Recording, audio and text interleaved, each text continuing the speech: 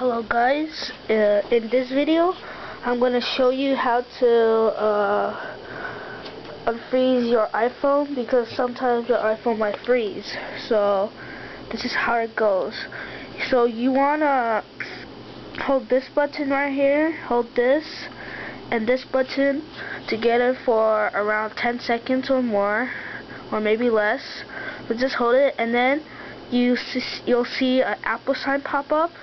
Just leave it there for a few minutes, and if it doesn't pop back up, uh, press it, hold it again, or do something.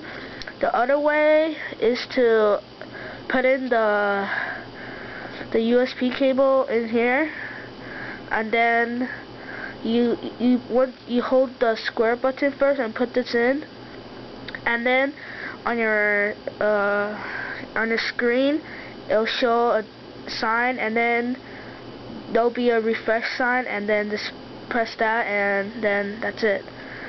It happens this will happen to your iPhone a few times so don't worry at all. Alright thanks for watching